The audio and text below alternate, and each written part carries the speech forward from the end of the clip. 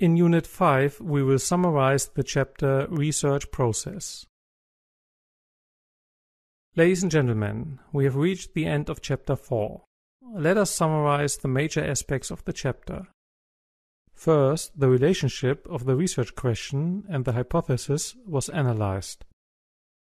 This analysis included the differentiation of questions according to certain characteristics.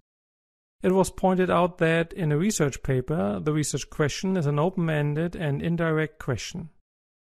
The interdependence of research question and hypothesis was described.